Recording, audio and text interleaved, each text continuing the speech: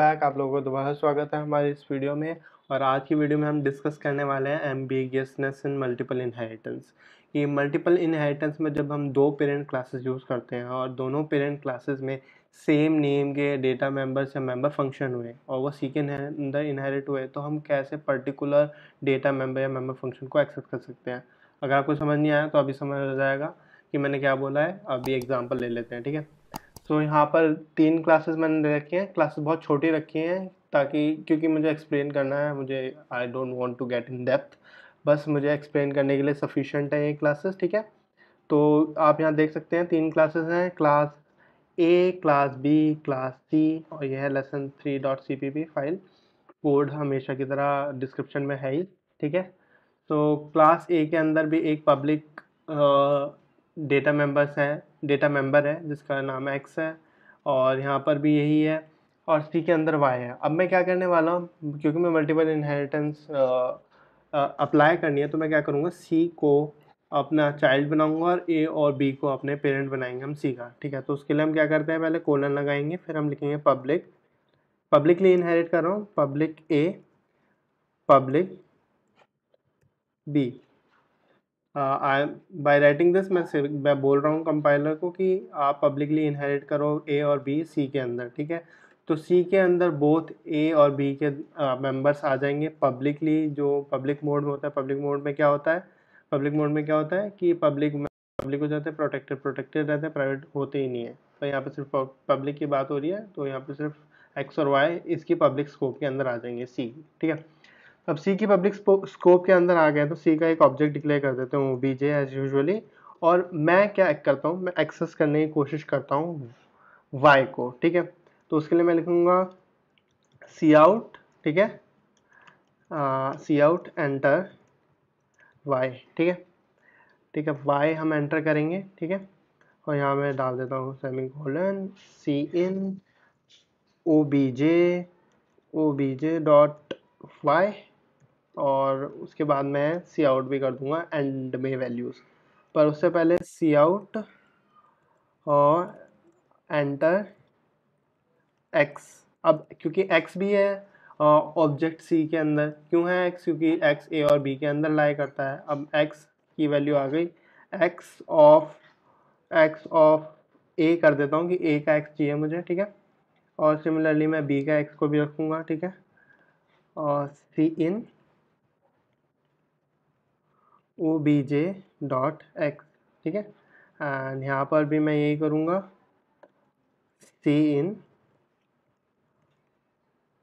Sorry मैंने शायद से एरोज उल्टे लगा दिए हैं। C in in O B J dot X अब यहाँ पर हमारे पास एक इशू आता है। इशू ये आता है कि कंपाइलर को पता नहीं है कि कौन सा एक्स को मैं पर्टिकुलरली बुला रहा हूँ। या मैं ए के एक्स को बुला रहा हूँ या कि बी के एक्स को बुला रहा हूँ। तो यहाँ पर एम्बिगसनेस आती है कि कौन सा एक्स को वो क्या कहते हैं कंपाइलर कंसीडर करे? क्या वो जो पहले लिखा उसके को कंसीडर करे या जिसको बाद में इनहेरिट किया उसके को कंसीडर करे? कि क्या रूल फॉलो करे? कि पर्टिकुलरली एक्स की वैल्यू आ जाए। उससे पहले हम सी आउट स्टेटमेंट दे देते हैं ठीक है?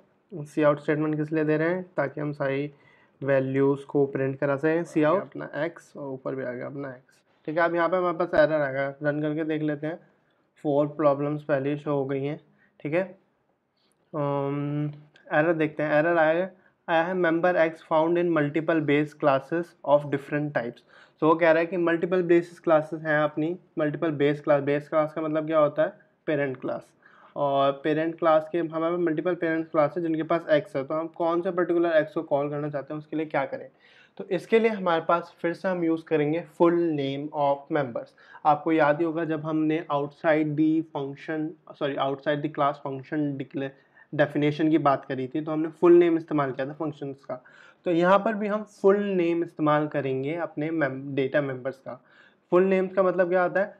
क्लास नेम फिर स्कोप रेजोल्यूशन ऑपरेटर फिर मेंबर का नाम, ठीक है? तो अब सेम चीज़ यहाँ करने वाले हैं। हम एक्स ना लिख के एक्स का पूरा नाम लिखेंगे। एक्स का पूरा नाम क्या होगा? A scope resolution X X of class A आप ये भी कह सकते हैं कि क्लास ए के अंदर जो एक्स है ठीक है? सिमिलर चीज़ हम यहाँ यहीं करेंगे B of class sorry X of class B ठीक है? अभी यही चीज़ हम यहाँ पे भी कर देते हैं ए एंड बी अब हमारी चीज़ें स्मूथली वर्क करनी चाहिए ठीक है? रन करते हैं प्रोग्राम देखते हैं हमारे पास क्या आता है। हम्म, हम्म। देखो हमारे पास वाई की एंट्री करने के लिए बोल रहा है टेन दे देते हैं ए के एक्स को हम दे देते हैं ट्वेंटी बी के एक्स को दे देते हैं थर्टी अब हमारे पास वैल्यू प्रिंट हो गई हैं, आप देख सकते हैं कि एक्स की दोनों वैल्यूज़ डिफरेंट डिफरेंट आ रही है ट्वेंटी और थर्टी तो ये एक तरीका है, जिस तरीके से हम क्या कहते हैं पर्टिकुलरली किसी एक को क्या कहते हैं आइडेंटिफाई कर सकते हैं फुल नेम देके, ठीक है? चलो ये तो एक इशू हो गया, जो हम मल्टी मल्टीपल इनहेरिटेंस में क्या कहते हैं फेस करते हैं। अब हम बात करेंगे हाइब्रिड इनहेरिटेंस की। हाइब्रिड इनहेरिटेंस में एक इशू और आता है। सपोज़ देखो ए से इनहेरिटेड है B A is base of B A is base of C so A के जो इतने भी मेंबर्स होंगे, वो बी में होंगे और वो ही सी में होंगे, ठीक है? और अब जब हम डी के पेरेंट्स कौन है? बी और सी और बी के अंदर ए के भी हैं। और पी के अंदर यहाँ ए के भी हैं और सी के अंदर भी ए के हैं। तो ए की डबल कॉपीज जाएँगी बी डी के अंदर। ठीक है? तो क्या आ जाएँगी? डबल कॉपीज जाएँगी डी के अंदर। और अब मैं इसको इम्प्लाई करके देख लेता हूँ। यही सेम हम कोड कॉपी करेंगे, नई फ़ाइल बनाएँगे और lesson zero four dot C P P के नाम से यहाँ पेस्ट कर देते हैं। और क्या करें? क्लास का नाम है ए ए अब यहाँ पे ए कर देते हैं ए यहाँ कर देते हैं बी और इसको अभी रिमूव कर देते हैं यहाँ से। मेन का भी क्लियर कर देते हैं अभी फ़िलहाल। कमेंट कर देते हैं इनफैक्ट कमेंट आउट कर दिया। और यहाँ पर आ गया सी और मैं सेम क्लास बनाऊँगा डी के साथ, ठीक है? यहाँ पर आ गई डी अब हमने बोला था कि बी और सी हैं, अब मैंने पब्लिकली इनहेरिट ए से, ठीक है? तो हमें ये चीज़ करनी पड़ेगी बी और सी के साथ, ठीक है? अब हम क्या करेंगे? डी को इनहेरिट करेंगे पब्लिकली बी और सी से, ठीक है? पब्लिक सी बी और सी ठीक है? तो आप देख ही रहे होगे कि डी को हमने पब्लिकली इनहेरिट कर लिया है बी और सी से और बी और सी ए से इनहेरिट हो रही हैं। तो ऑब्वियस ही बात है डी के अंदर डबल कॉपीज जाएँगी ए की। क्यों डबल कॉपीज जाएँगी? क्योंकि बी में भी ए की कॉपी है और सी में भी एक ही कॉपी है तो डबल कॉपीज जाएँगी डी के अंदर, ठीक है? अब हम ऑब्जेक्ट ऑफ़ डी डिक्लेयर करेंगे, ठीक है?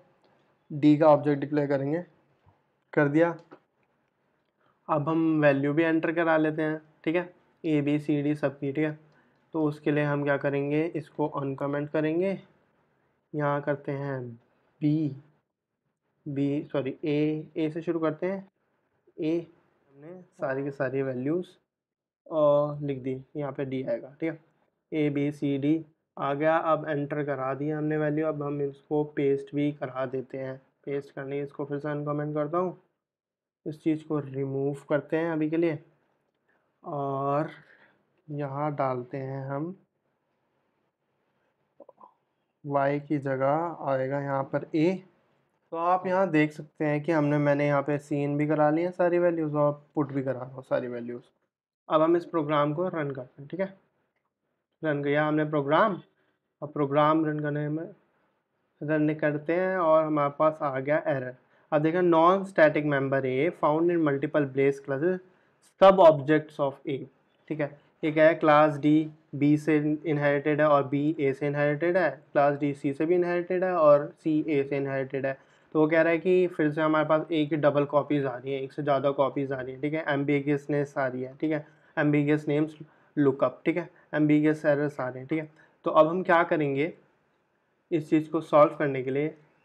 पहली बात ए के दो रूप हैं, या फिर कह सकते हैं दो कॉपीज़ हैं। एक है बी से और एक है सी से तो फिर से हमें फुल नेम इस्तेमाल करने पड़ेंगे और ये चीज़ हमें आइडेंटिफाई करनी है कि यहाँ पर दो ए हैं एक ए है ही नहीं, ठीक है? अब हम करेंगे enter A of B A of C ठीक है?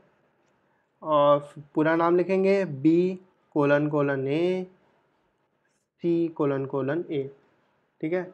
यही चीज़ हम इस्तेमाल करेंगे यहाँ पर भी, और यहाँ हम करते हैं यूज़ इसको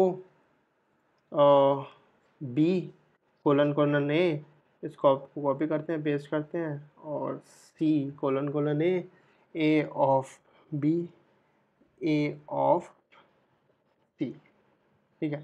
अब हम इसे प्रोग्राम को रन करते हैं। देखते हैं हमारे पास आउटपुट में क्या आता है। आउटपुट में आ कह रहा है कि ए ऑफ़ टेन डाल दी twenty thirty forty fifty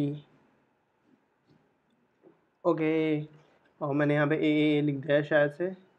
A B C D ठीक है? दोबारा रन करते हैं। तो अब यहाँ पे वैल्यू एंटर करते हैं ten twenty thirty forty fifty यहाँ हम देख सकते हैं कि value of A of B is ten twenty thirty forty fifty ठीक है? अब यहाँ पर एक इशू आता है कि जनरली जब हम हाइब्रिड इनहेरिटेंस इस्तेमाल करते हैं, हम नहीं चाहते कि मल्टीपल कॉपीज़ चली जाएँ ए की, कि ए की दो दो कॉपीज़ आएँ डी के अंदर. वैसी बात हम नहीं चाहेंगे कि दो दो चीज़ें हों ए के पास डी के पास डबल कॉपीज़ हो. तो इस चीज़ को टैकल करने के लिए हम क्या यूज़ करते हैं? इस चीज़ को टैकल करने के लिए हम जो यूज़ करते हैं, उसको कहते हैं, ये कहाँ से आगे इसको हटा देते हैं। इस चीज़ को टैकल करने के लिए कि सिर्फ़ एक ही कॉपी पास हो, एक ही, जो हमारी डी क्लास के अंदर हम यूज़ करते हैं वर्चुअल बेस क्लास, ठीक है? वर्चुअल बेस क्लास को कैसे इम्प्लीमेंट करेंगे? हमें क्या करना है सिंपली? सिंपली हमें लिख देना है यहाँ पर virtual public A. V I R T U A L virtual virtual यहाँ पे भी हम वर्चुअल लिखेंगे।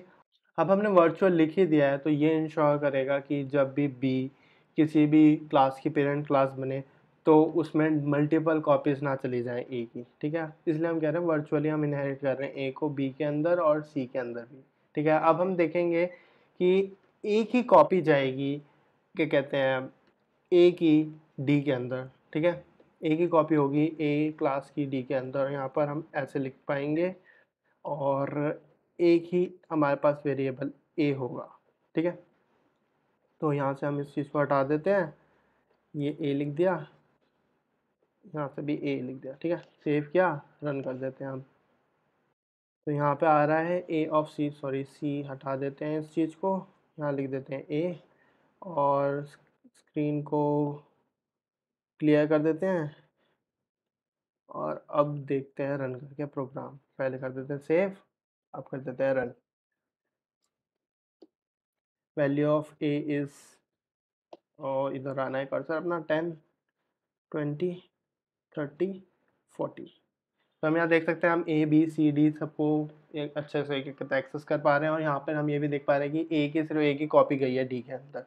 तो ये हो गई हमारी वर्चुअल क्लास तो यही था आज की वीडियो के लिए। See you in the next video तब तक के लिए टाटा बाय बाय कोई डाउट्स हो तो कमेंट बॉक्स में आप लिख सकते हैं, ठीक है?